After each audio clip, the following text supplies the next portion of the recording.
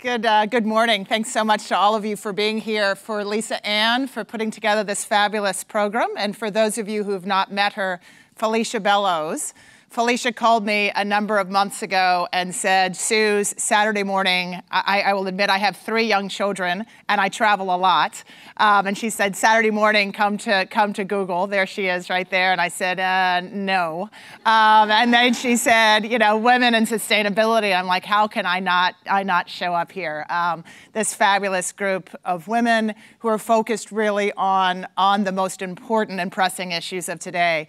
Um, I'll give you a minute or two of my background. Um, I came out of law school in 1993. I went to New York.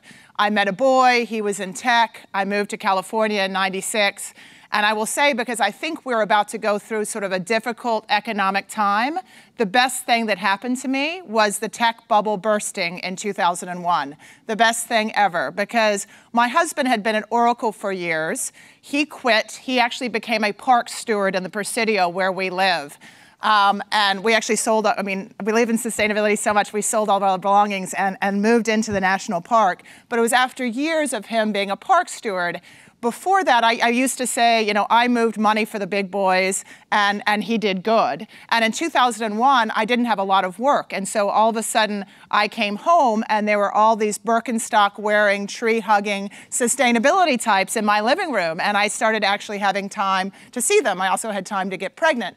Um, but. Um, came home and I think sustainability, sustainability led me to, to, to energy, which led me to impact.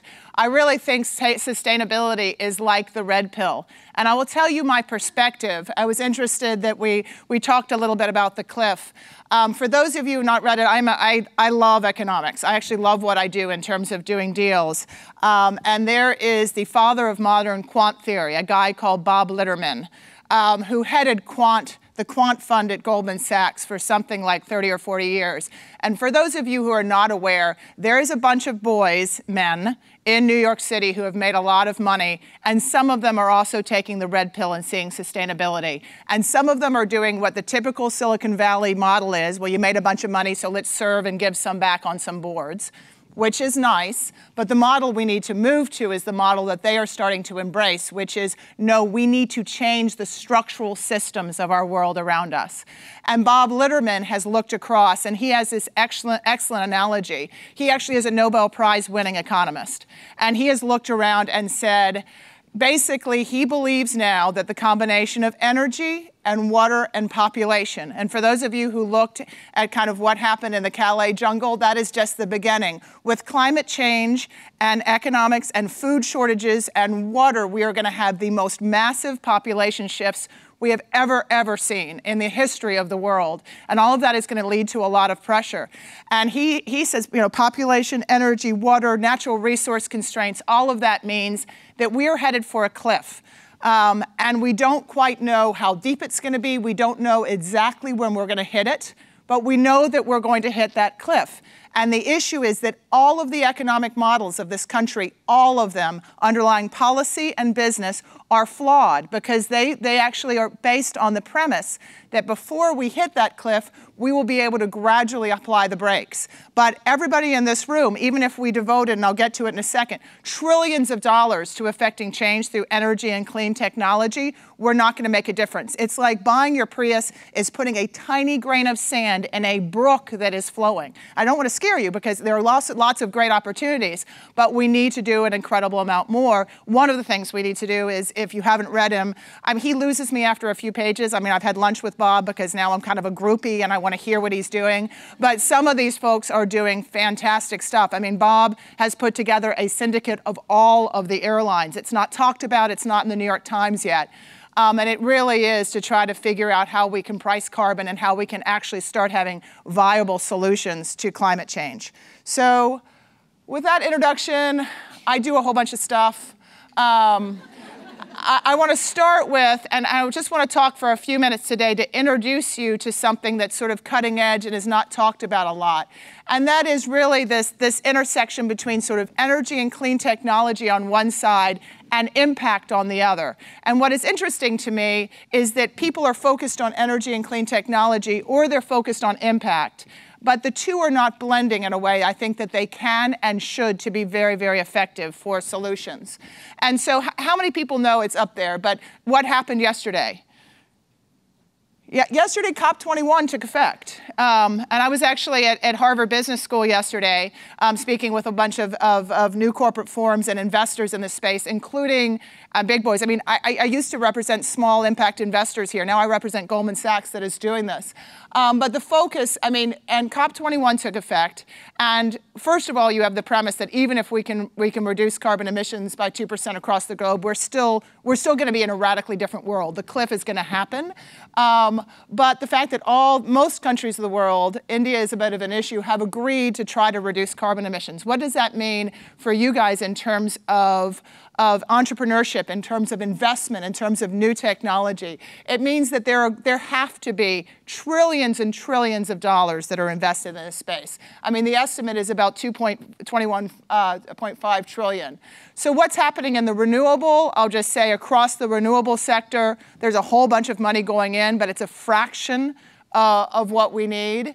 And at the same time, on the other side of the equation, you all call it sustainability, there is a great growing investment in what's called impact. Investors that are looking for ESG or environmental or social or governance. Um, returns in addition to financial returns. It used to be called DB uh, double bottom line or triple bottom line. It's increasingly called ESG. And what is interesting is in addition to all the money that's going into renewables, a lot of money is going into this sector. You know, TPG just set up um, an impact fund. Bain has set up an impact fund. This is getting to be mainstream in terms of investment. Um, and it is, it, is, it is very, very broad. I just wanted to mention some of these investors are what are called impact first. This is an extension of philanthropy. A lot of these investors are actually looking for market rate returns. And they believe, like sort of newly, newly minted and now very, very um, active Obvious Ventures, the partners of Obvious Ventures believe that if they strive to, to invest in companies and solutions that, have, that, that, that address the most pressing issues of today, they're going to have the highest returns. And, and there's a lot of work being done sort of across the spectrum in impact investing. And so the question is, how do those two relate? Typically, you have you know, your energy companies over here, your clean technology, and then you've got impact. How can they work together? Because if we deploy more capital to renewable energy and clean tech solutions, obviously we have more of a chance of, of, of addressing the cliff that we're headed to. Um, and it is happening. Um, and so one of the things I wanted to just touch on is if you are in either of these spaces, sort of the impact sustainability space or the energy space, what can you think about? What are some best practices that you can employ? Um, number one is you can think about using a new corporate form or changing your form, particularly if you're an LLC, to embed impact. I'll explain that for a minute or two. I think I've got two minutes left, so I'm going to be really fast. Uh, number two, you can play with your debt or equity instruments and, and include impact in there. And number three, you can really have a robust means of measuring and reporting, not just on your financials, but also on your positive environmental impact. So, are you ready for 30 seconds of each of these? And it is hard for me because those of you who know me, corporate form matters more to me than anything other than my children. And if you ever just want to take a class, I, I teach a class at Berkeley Law School and Business School. I also guest lecture at Stanford. If you want to sign up for one of them, I'll take you in great depth. But corporate form underlines all of our structures of today, and maybe they'll give me one extra minute so I can talk for a minute on corporate forms.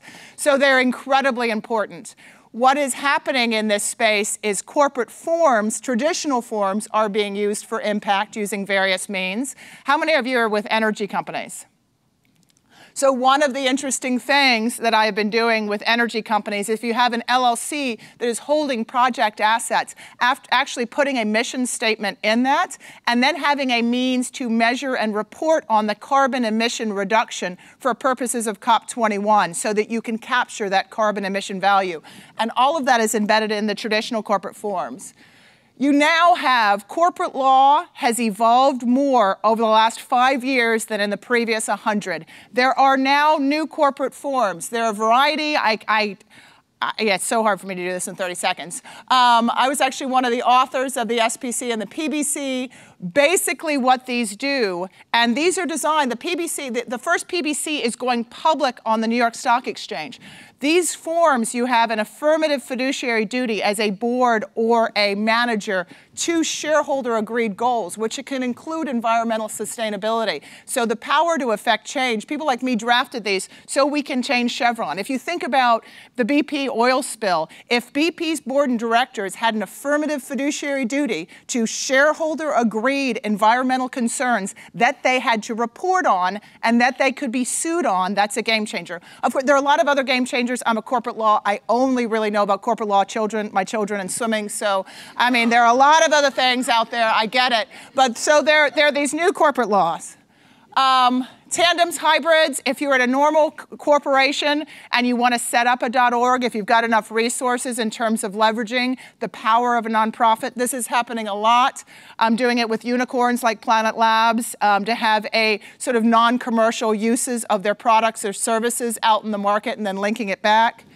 Um, financing instruments, blending mission in, but then importantly, all of you who are working on technology that can reduce carbon emissions, thinking about how you do that and how you capture that future value um, is just really, really exciting. Again, green bonds, social impact bonds, which are not bonds. Um, but I mean, some of these are just use of proceeds. Some of these are just people giving you money and saying, make sure you build solar. Others of these are very, very thoughtful. And I'll just pause for a second.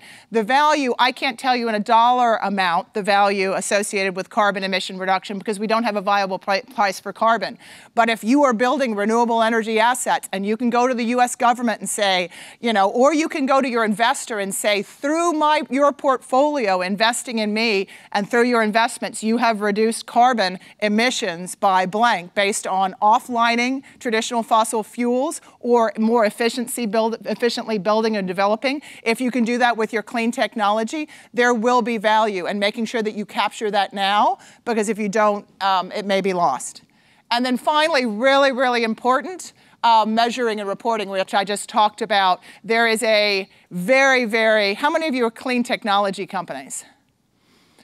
So very, very exciting movement at the public company level in this country called integrated reporting and changes in the SEC rules, which means very soon, and some companies have already started, public companies will have to start reporting on various ESG factors in their 10Ks and 10Qs. So um, you're going to let me just finish this thought. So what does that mean for you? You've got your small startup here in Silicon Valley. You are building this cool technology. It means as soon as the public companies have to measure, and these are the key things they're looking at measure, because they're material to operations, and they have to report, first they need mechanisms, they need technologies to measure, but second, they also need to improve. I do a lot of work, and our firm does a lot of work for Apple Apple, which is why we can't represent Google.